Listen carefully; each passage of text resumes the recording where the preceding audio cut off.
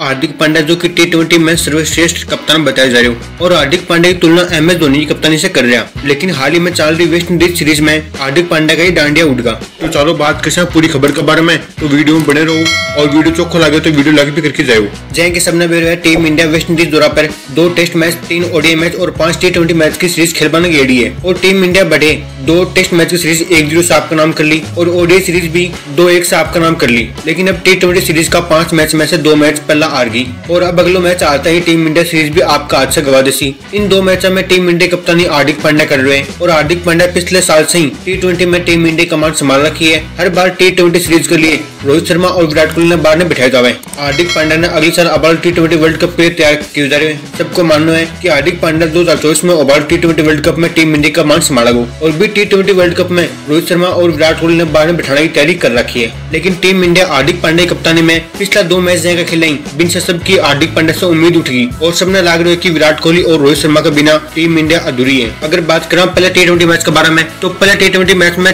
Waste Indies की team पहले खेली और मात्र एक सौ उनचास रन बनाया। West Indies team team India के सामने एक सौ पचास रन को टारगेट रखियो और जो टारगेट भी टीम इंडिया कौन चेंज कर सकी। टीम इंडिया भी बीस ओवर में मात्र एक रन बना की, नौ विकेट गवा दिया और ये मैच चार रन से टीम इंडिया हार गई। बात करें दूसरे मैच के बारे में तो दूसरे मैच में टीम इंडिया पहले खेल की बीस ओवर में एक सौ बावन रन बनाया और जवाब में वेस्ट इंडीज टीम अठारह ओवर में ही एक सौ पचपन रन बना दिया। एक सौ पचपन रन बनाने में वेस्ट इंडीज की टीम को निकल स्पून की बहुत बड़ी भूमिका रही और टीम इंडिया की ओर से भी दोनों टी ट्वेंटी मैचों में एक यंग खिलाड़ी तिलक वर्मा बहुत ही चौखो प्रदर्शन करे हैं। दोनों मैचों में तिलक वर्मा बहुत चौकी पारी खेली, लेकिन ये दोनों मैच बदकिस्मती से टीम इंडिया कौन जीत सकी। टीम इंडिया की ये हालत देख के सबने बहुत दुख हो रहे हैं, क्योंकि वेस्ट इंडीज जाएगी टीम से टीम इंडिया आ रही है तो ये संकेत टीम इंडिया के लिए अच्छा को नहीं? टीम इंडिया ने तीन महीना बाद में वर्ल्ड कप खेलना है, और भी वर्ल्ड कप से पहले आए का नतीजा टीम इंडिया के लिए चौंकाने वाला है, क्योंकि जखी West Indies team ODI world cup में क्वालिफाई कौन कर सकी? बी टीम से टीम इंडिया आ रही है। तो आज के वीडियो में इतना ही। अगर वीडियो चौखा लगे तो वीडियो लाइक ज़रूर करियो, और चैनल भी सब्सक्राइब करके जाओ